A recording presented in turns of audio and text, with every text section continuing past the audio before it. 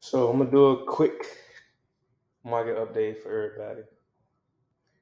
I wish I had something fun and exciting to tell y'all, but um, basically I just want to point out these what I'm calling globs. Because what what the fuck is this? The market since it started this the most recent downtrend it's just been it just chops. It just tends to fall and then chop, and it falls at the most unexpected time. But this is why you gotta stay vigilant and keep your alert set and just really be prepared for anything. Here we had an eight day period where just traded 140 point range and then boom, dump. Then here, just for 10 days straight, 240 point range, it just did that and then dumped. Right now, we have a 14 day long, 275 point range glob. The problem with these ranges expanding is that the more these ranges expand, the more false break, more, the more false breakouts you're likely to take because these are big moves. When stocks flush a level like that with that type of conviction, you are thinking that it's flushing.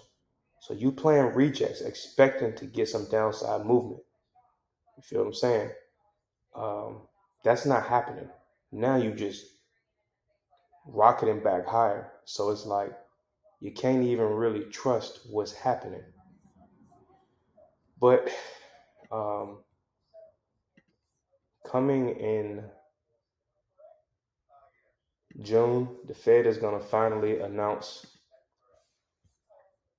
I guess, start um, balance sheet runoff. And I talked about that before. You can go back and watch previous videos. It's not bullish at all. So the market trying to bounce right here, right now, I think is a bull trap. So setup. So I would be looking for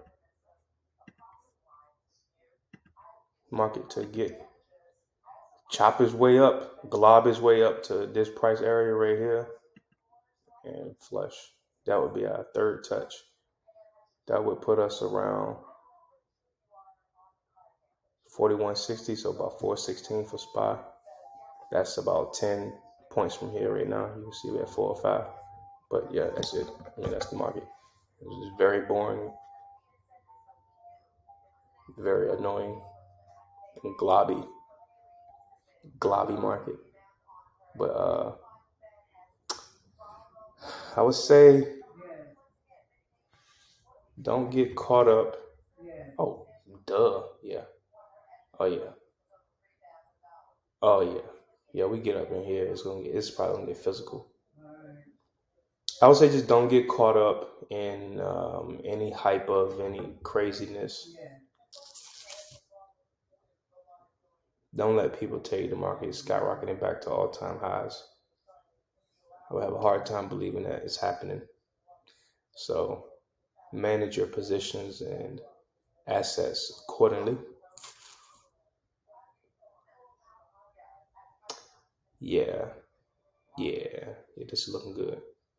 Yeah, that's it. That's the market. Ain't nothing exciting. Balance sheet runoff start. Fed meeting minutes said they're gonna do 50 basis points at the next couple of meetings, and then the market has been going up ever since then, which was yesterday. Here, well, probably about up in here, really. So it's not like the market can't bounce off of bad news. It's just like it's just annoying when it does, because like like why are you doing this? You feel me? So that's where we at right now. Um, my views have not changed. Nothing has changed. Uh, Bitcoin, glob, globby. It's like, what are you supposed to do with this? And and the crazy thing, so I'm showing an example because you have these massive moves down, and you start to think, well, yeah, I'm a I'm a I'm a short it on a retest of support because that's that's where it's gonna reject it. No, it just stocks just keep going. Like so, that's what's been annoying because like you just can't do nothing about it, like nothing at all, except get stopped out. So I say that to say I would not be shocked to see Bitcoin just do something stupid and just just I'm talking about just skyrocket. I don't think it'll go that high. Don't don't take that literally, but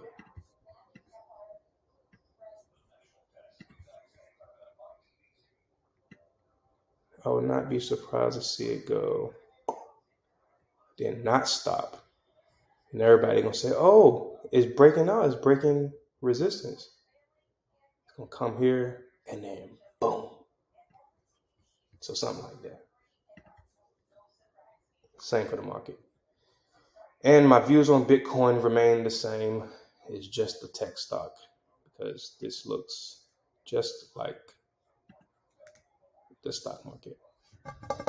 You're better off holding certain tech stocks over this, if you ask me.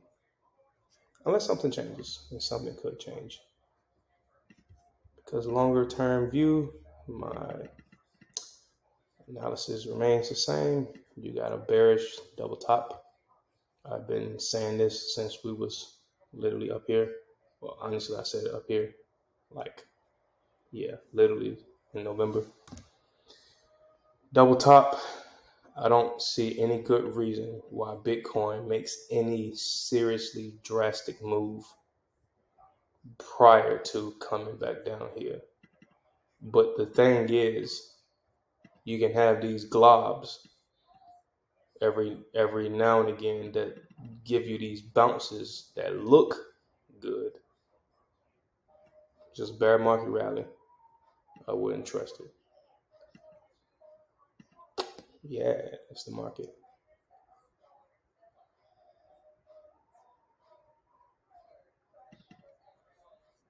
That's the market. So I say that 415 to 425, 430 range. Look for things to get physical. I'm not necessarily certain we even get up there, so it's not like I'm crazy bullish. But if we do chop our way, glob our way up there, or wherever this line meets, that's where we get physical. And there go your market update. So there's no confusion on what's happening. But data, if you want day to day updates and stuff, follow trades and all that fun stuff, definitely uh, check out the mentorship. You can go to Six Fat Daddy Nine on Instagram. You find the link in my bio. But that's all I got. And uh, I'll catch y'all for the next video.